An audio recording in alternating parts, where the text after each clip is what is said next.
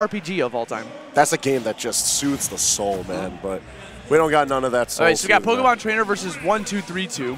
Um, known very famously by their hit hit All Star game. Ah, yes. Uh, Find Me. Yeah. So here we go. Have you ever played Find Me? I played Find Me too. So we got CoJam fighting off against Descolae. Descolae representing the Mii, Mii Gunner, and then you got CoJam representing as Squirtle. Now, now the, the emphasis about the Mii's in this game is that they have the ability to be able to equip any move. Uh, like they have so many moves that they can like choose from. Like I said, we got one, two, three, two. So you decide what special moves you're going to be able to wreck with them. So the opponent has to like kind of adapt to what move they're. Okay. Yeah, here's the thing about that. Okay. You can change up their specials. You can't stop their normals from being average. And Mii Gunner is definitely the one who sits with like the most mediocre of normals. Also the fact that they're all like the perfect weight for being combo food. They're like just heavy enough, just big enough of a target. So Pokemon Trainer is able to pick apart Gunner with no problem. It's also going to be difficult for Gunner to actually zone out two-thirds of Trainer's kit because Ivysaur can just duck under a lot of the uh, the short hop forward air pressure and stay away from the explosive stuffs. And then Squirtle doesn't have to respect it at all. Meanwhile, you got Descolae off stage against CoJam. And this is the thing that's going to be happening with the character, right? Pokemon Trainer likes to switch over to Charizard when they're super high percents like this. Now he's off stage. The thing is, Mean Brawler packs a punch with this move, get, catches him with the blaster again, wasn't fully charged. And I didn't even see that. It was the slip. That was so small. it was the slip missile. Did you see how tiny that was? Yeah, man. That caught him off. It caught me off guard, caught him off guard, and now the damage is starting to rack. That reached Yes, the up smash. I'm, just, I'm learning They something. that. I'm learning something every day with this character. Okay, there, I mean the thing is, no matter what you learn, down throw Vine Whip is still gonna knock you silly. Yeah, Ivysaur's still like a beast of character. Yeah. Forward air is such a good spacing tool because it's such long range. It, pops them up for a very good combo, whether it's going to be more damage right afterwards or just a free Vine Whip for the kill, as well as you can space it so well because of the long range. You see him retreating the forward airs as well. There we go, another grab, down throw, some great combos. Ivysaur's entire game plan is to try to get his opponent above him.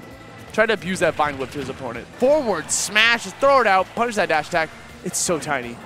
That, that, that the- shot can catch so many people off guard. Yeah, that's the gimmick, bro.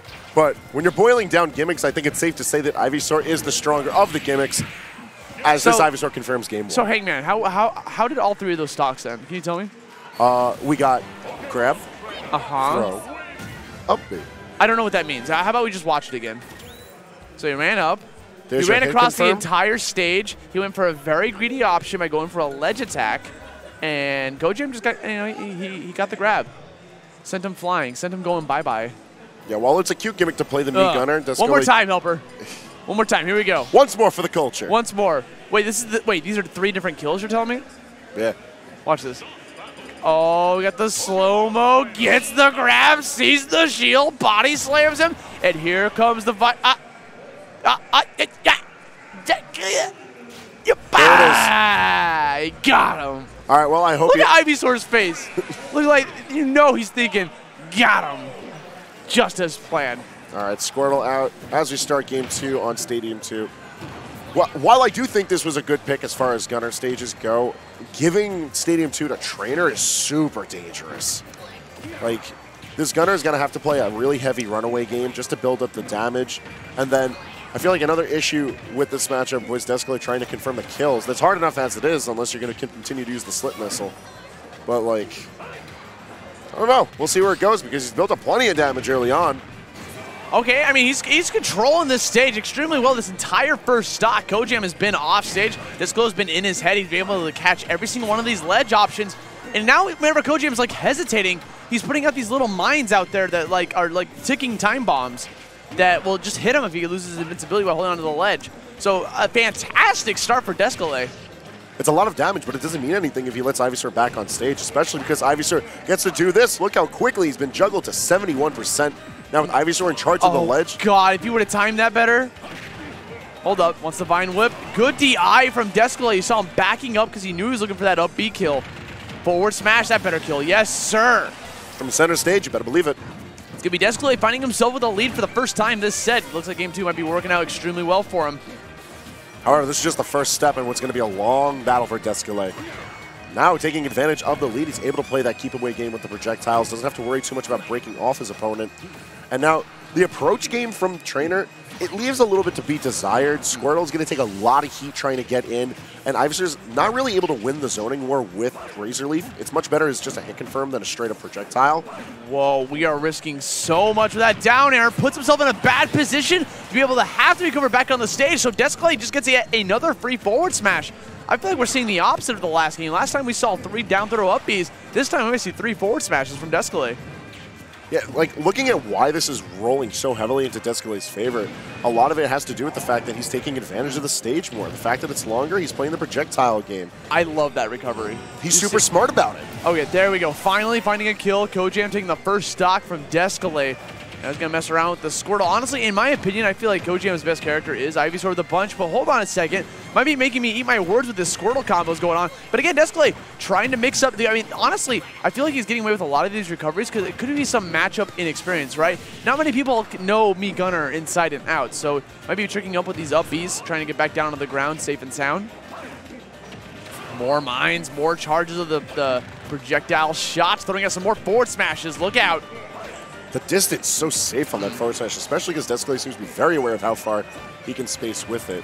You know, we joke about the Miis as we come into the set, but Descolae does seem to be very well studied as far as what he's able to get away with with the character.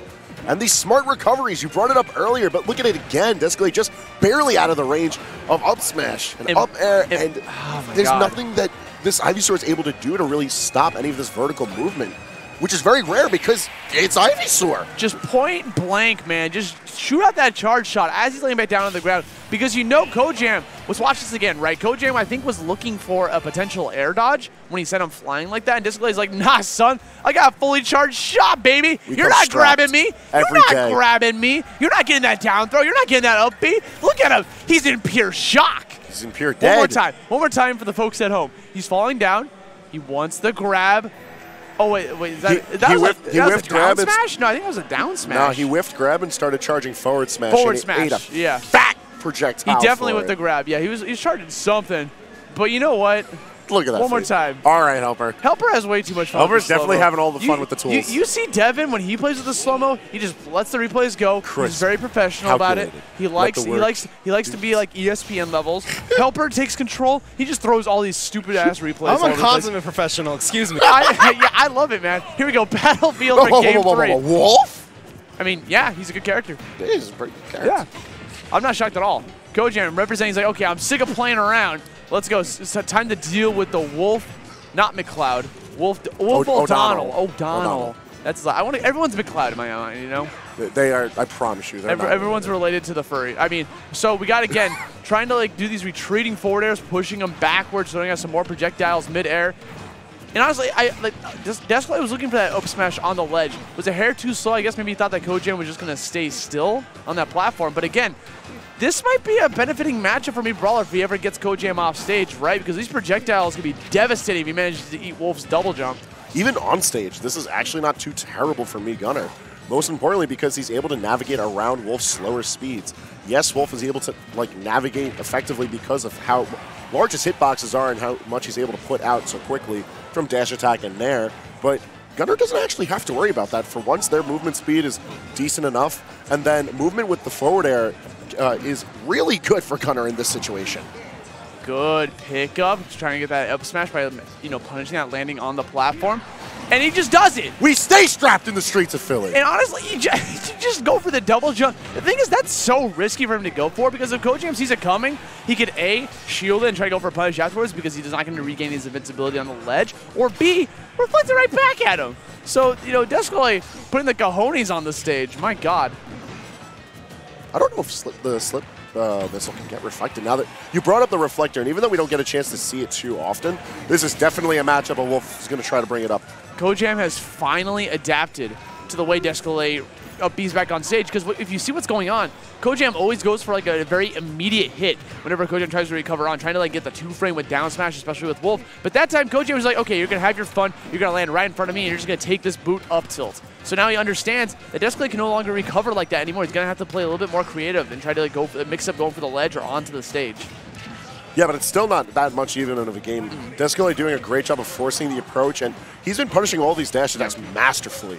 Even when he's in the corner, it feels like he's the one in control, especially with these raw forward smashes. Who does that? Who throws that forward smash in the corner? That's so risky, yet he connects it and gets a, confirm- a kill confirm off of it while in disadvantage.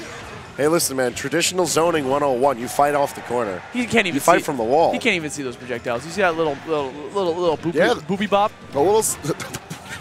I call Don't that. you. Yeah, no. What do you, slip- what, slip that's what the move's called. If you go into the instruction booklet, It's definitely not called booby bop. Booby, boopy bop. I'm definitely going to need you to spell that after this match. Uh, B But you can't see it against the clear skies of Battlefield. Forward Which I feel like is helping even further. Because, like, now, I feel like CoJam is finding himself in this situation where he just wants to rush in. And that's the worst thing you want to do. You can't just rush down a zoner who's in the lead like this. Hey. A zoner who's going to take the set. It's even have a like, God, just give me like snake grenades instead, bro. I can't even see that joining. Obviously, CoJam couldn't. CoJam taking away that first game from De- uh, game from Descolae, just connecting all three grabs into an up B. Then Descolae, you know, uh, you know, kept us cool, came back in, dominated, and CoJam tried to go for the Wolf. I don't know if the Wolf was like the right decision. I felt like he was doing okay with Pokemon Trainer. He just got a little bit outplayed in the previous game. And it did not work out, so CoJam's taking a trip down to losers while we got me, Gunner Extraordinaire from Descolae, moving on into winner semis of their respective pools. You know, man, I feel like if we see these Mii gunners week after week, you might actually know